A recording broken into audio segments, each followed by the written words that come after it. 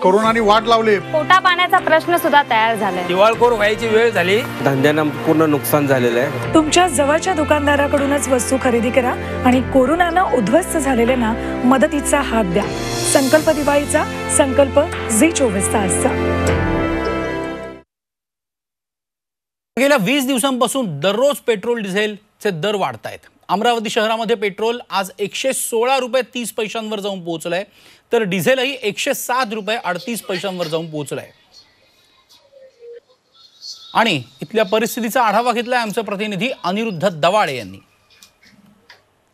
ऐन दिवाळीच्या तोंडावर दिवसेंदिवस जी आहे ती पेट्रोल आणि डिझेलची दरवाढ होत आहे आणि त्यामुळे याचा मोठा फटका जो आहे तो सामान्य नागरिकांना बसत आहे. आणि आपण जर पाहिलं तर सध्या मी आहे एका अमरावतीतील पेट्रोल पंपावर आणि इथे जर पाहिलं तर सध्या पेट्रोल आणि डिझेलची जी आहे ती दरवाढ झालेली पाहायला मिळत आहे. पेट्रोलची किंमत जर पाहिली तर एकशे सोळा पॉईंट तीस पैसे आणि डिझेलची किंमत जर पाहिली तर एकशे सात पॉईंट अडतीस पैसे इतकी जी आहे ती आहे. आणि त्यामुळे याचा मोठा फटका जो आहे तो सामान्य नागरिकांना बसत आहे. आपल्यासोबत याच विषयी अधिक बोलण्यासाठी काही नागरिक आहे तुम्ही पेट्रोल भरण्यासाठी आलेले आहात. दररोज दरवाढ जी आहे ती होत आहे. काय सांगाल? दरवाढीबद्दल काय सांगायचं त्या तिथं गाडीत पेट्रोल भरायला पैसेच राहत नाही. दुसरं काय सांगणार? महागाई एवढी वाढली. काय एकशे काय अडसष्ट रुपये तेल झालं साठ रुपये तेल झालं. तेल याच्यात भरावं का? आपल्या घरात भरावं? नक्कीच. आता जर पाहिलं तर पेट्रोल डिझेलसह इतर ही जी गोष्टी आहे त्याची दरवाढ होत आहे. त्यामुळं घरी तेल वापरायचं की गाडीत पेट्रोल भरायचं असा प्रश्न सध्या सामान्य नागरिकांसमोर पडलेला दिसत आहे. व्हिडिओ जर्नलिस्ट सागर ताडे समी Aniruddha Dawade Zee media Amravati. Petrol डिझेलची दरवाढ सुरूच आहे. पेट्रोल आणि डिझेल आजही पस्तीस पैशांनी महागलाय.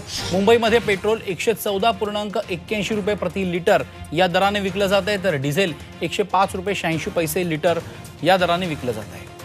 पेट्रोल डिझेल सातत्याने त्याची दरवाढ सुरूच आहे आणि गेल्या वीस दिवसांपासून रोज पेट्रोल डिझेलची दरवाढ होतच आहे. आज मुंबईमध्ये पेट्रोल एकशे चौदा रुपये एक्क्याऐंशी पैसे या दराने विकलं जात आहे तर डिझेलही एकशे पाच रुपये शहाऐंशी पैसे प्रति लिटर या दराने विकलं जात आहे. त्यामुळे सर्वसामान्य अक्षरशः हैराण झाले आहेत.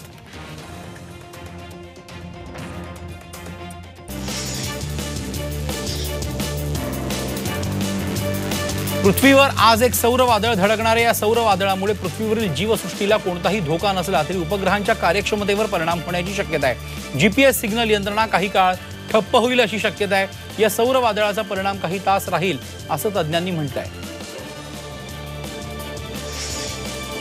करोनाने वाट लावले. पोटा पाण्याचा प्रश्न सुद्धा तयार झालाय. दिवाळखोर व्हायची वेळ झाली. धंद्यानं पूर्ण नुकसान झालेलं आहे. तुमच्या जवळच्या दुकानदाराकडूनच वस्तू खरेदी करा आणि कोरोनानं उद्ध्वस्त झालेल्यांना मदतीचा हात द्या. संकल्प दिवाळीचा संकल्प झी चोवीस तासचा.